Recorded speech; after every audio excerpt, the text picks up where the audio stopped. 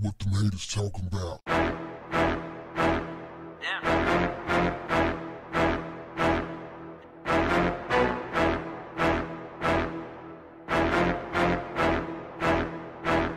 What's up, family?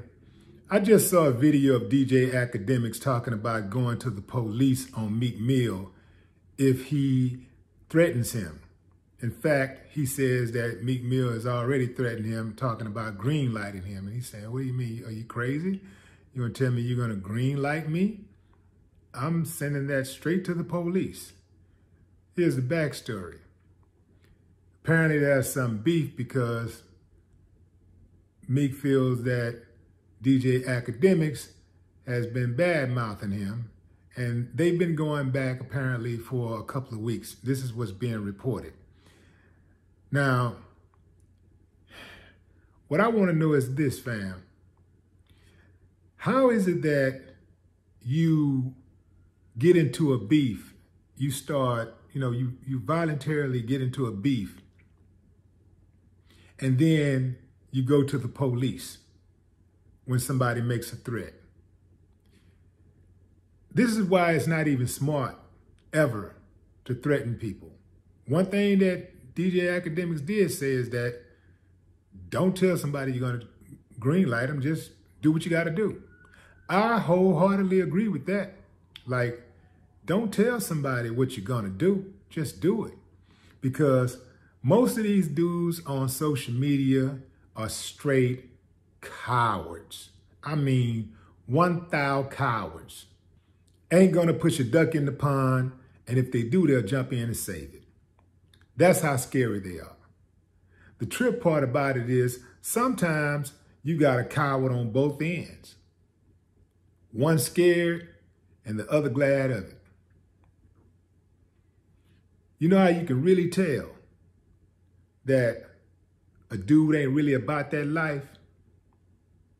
Because real cats, they don't even participate in that stuff because they know where it can go and they're prepared to go there. The cowards are not. These type of dudes, they don't announce their location because they know an op might show up. They really ain't about that, fam. They got some people fooled, but they're really not about that life. But they gonna keep on pushing till they get their head knocked off. But if you got it on your mind, don't make no threats on the internet because they're going to go straight to the police with it. Because that's who they are. I've already seen a number of them dudes do it already. They going straight to the police. But here's the thing about the police. The police ain't going to follow you home. That judge and that prosecutor, they not going to stand out in front of your, your door or be right there with you when you go pick your kids up from school. They're not going to be there at the grocery store with you. They're not going to sit out in front of your house for weeks and months at a time. They're not going to do none of that stuff. If you can make it to court, they'll be sitting there waiting on you. But other than that, you're on your own. This is why it's important not to put yourself in these type of positions. Now, I heard somebody saying that, well, Meek Mill is a hypocrite because he out here talking about prison reform and then he talking about green lighting somebody. And I think it's quite possible to do both. I think that you can be a champion for prison reform and still put something on somebody's ass if they get out of line. Know, I think it's possible to do both.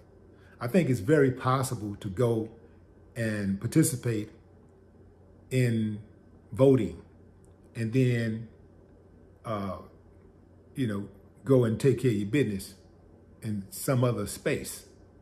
You see? Because here's the deal. A lot of times cats see you in certain spaces and they think it's sweet. They see you, they think you're an artist or they think you are a blogger, or they think you're a politician, or you're an athlete, or, or just a regular business person, and they think it's sweet. So they push and they push. And again, they push until somebody puts something on their ass. This is what normally happens. But, and it always happens. I don't care how long it's been since they ain't got an ass whooping. It always catches up to them because everybody ain't playing. But who you got? Me or Akademiks? Who is right in this situation, in your opinion? Drop a comment. No more talk. What, what the haters talking about?